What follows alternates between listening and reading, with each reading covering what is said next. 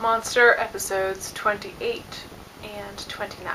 So Schubert is happy because now he has Carl, and Carl's calling him dad and everything. And this guy who was in, hired by Mr. Schubert to investigate, you know, the location of his son, is kind of like, oh, that's cute. He's always been so icy, but now he's so happy. So the detective goes off and um, pursues other projects. He's talking about how he was flipping through his old scrapbook of unsolved cases, and it makes him so frustrated because those those killers are still out there, and he wants to deliver justice to them. But he's still plagued by the ghost of the young man that he killed. But he has to conquer his demons, and then that ghost will go away. So he goes back home and he flips through the old scrapbook of homicides again. And um, he, he's like looking them over and he's thinking and he's like, mm. and he stumbles across this uh, middle aged couple that was killed and linked to the presumed killer, Dr. Tenma. Oh no! And he looks across the window and there's a guy with a gun. Ah! Oh wait, no. His imagination? So he lost his trail of thought because he was was he was distracted by the ghost of the boy that he had killed. And as he's walking home, he suspects someone's following him, so he pursues whoever it might be.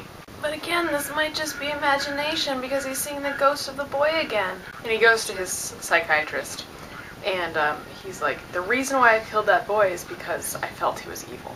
And I was thinking back to my old cases, and there's that one case in particular and now that doctor is sending a letter to another doctor that was his student, and he actually had Tenma as a student as well. The detective goes to speak to the daughter of um, one of the murder victims, and he's asking about her connection to Mr. Schubert. And the woman was a um, maid for her like 20 years ago. Basically, this detective's just going around investigating, trying to figure out who this. I'm trying to figure out what's going on, basically. and then, incidentally, he's almost killed by some falling rubble. Maybe. Maybe it was incidental, maybe it was on purpose. He's learning more about Schubert in his past and these various people who have been killed. And we learned that this one man who was killed used to be a foster child and grew up in an orphanage. This running theme of bird watching going on really suspicious for some reason. Jeez, and then he's almost hit by a truck! This guy almost dies so many times. So he goes back to his psychiatrist guy and he's like, I looked into all my old cases and I mean, they're all pointing in the same direction. Killings were all orchestrated in a certain way so that it would gradually isolate Mr. Schubert. And then there's this name Johann that keeps popping up. And the, the psychiatrist guy is like, well, as it would happen, Johann is a name that I know. I mean, let's be fair, Johann's a pretty common name, but you might be onto something. And then the detective remembers, like, oh, when I was at Mr. Schubert's place, they mentioned a Johann. Alright, let's watch one more episode. Relatively speaking, that episode wasn't so um, action-packed, really, but it was definitely important and interesting. So Johann's walking through the park and he's chatting with some children who are playing like I don't know, warrior or whatever. And he's like, Oh, so you want to conquer the world? What kind of world do you want to make? Johann takes care of all of these kids, I guess, or volunteers at a place where the kids are being cared for.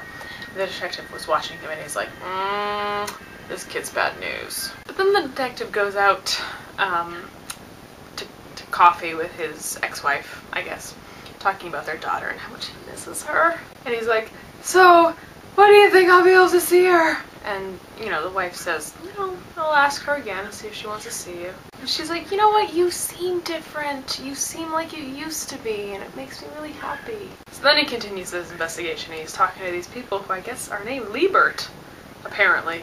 I, maybe he's just looking for Johann? Apparently their son is named Johann Liebert. That can't be right. And he's kind of like, they seem so ordinary, but that makes them suspicious. And so then he's suddenly like, you know what, those baby pictures that I saw of the so-called Johann Liebert. I don't believe it. He looks totally different. It's impossible. So he checks out the birth certificate and he's like, well, I mean, still doesn't seem out of the ordinary. But then it comes out that there was a big fire at the city hall four years ago, and all the paperwork was destroyed. So then it's like, aha, that's the missing link. Ugh, the detective psychiatrist knows the doctor that Tenma went to and went to school with. And they're talking about could this kid Johan possibly be the serial killer? Let's show a picture of Johan to that Jurgens guy and see how he reacts. The detective's running through the, the graveyard trying to find uh, Johan Liebert. He does. He eventually finds a grave for a two year old baby, a, a dead two year old, marked Johann Liebert. So the Lieberts reissued a birth certificate after the fire to make it look like their son was still alive. But the detective is like, I, you know what, this is great. I can't talk right now though. I have to go home because maybe my daughter is gonna call and want to see me. And sure enough, he gets a phone call from his little girl. Yay! but then a knock on the door and it's Johan, I guess? So this guy, Dr. Gillen, is talking to Jurgens, asking about, do you know this Johan kid? Oh, it's weird. He colors on the photo and gives him black hair and is like, I saw him. And then uh, he's gonna kill himself with a pen! Oh anyway, Johan has gone to the detective's house and he's like, Hi, we met at Mr. Schubert's house and I tried to call but you didn't pick up, so I just came over to say hey! So, the detective goes out to the bar with uh, Johan and Johan knows all about him, all about how he killed the boy and how he stopped drinking. And he's like, yeah, you know, I, I knew about that. Am I mistaken? Johan's like, tell me about that. I'm writing a paper about the rights of the child and stuff. And considering the kid you killed was only 17, I just, I'm, I'm curious about, you know, how you passed judgment on him and killed him. And the detective starts getting all offended that he would ask these questions, and Johan's like, oh, I'm sorry, I didn't mean to offend you. And Dr. Gillen and the psychiatrist, the other doctor, are, are worried that they can't get in touch with uh, the detective. They're like, well, maybe he's meeting his daughter, but it's kind of late. I mean, this is this is weird. And now we're finding out via Johan that the boy that the detective killed when he was drunk was at uh, went to the orphanage that I guess Johan went to. The detective demands a note from Johan. Why? What? What? What's, what's your purpose, Mr. Schubert? Who are you? Johan leads him up to the roof, and he follows. And Johan's like, I get the feeling that when you shot the boy, you weren't drunk, and you only drank afterwards as an alibi. When you shot him, were you just passing judgment on him as an executioner? You were sober, calm, and you just decided to do it? Johan's like, mm, you are the evil one here. You don't deserve to go meet your daughter after doing something like that. Whew! And he offers him a drink, and then, ugh. Oh, and now we're learning that the detective is dead. Johan strikes again, so evil. I kind of figured he'd die, but he was this close. You know, he totally had it. Ugh. Anyway, that's the end of those two episodes. The next um, monster video that you'll see from me will be an examination of episodes 30 through 37. So I'll just see you next time for that. Bye!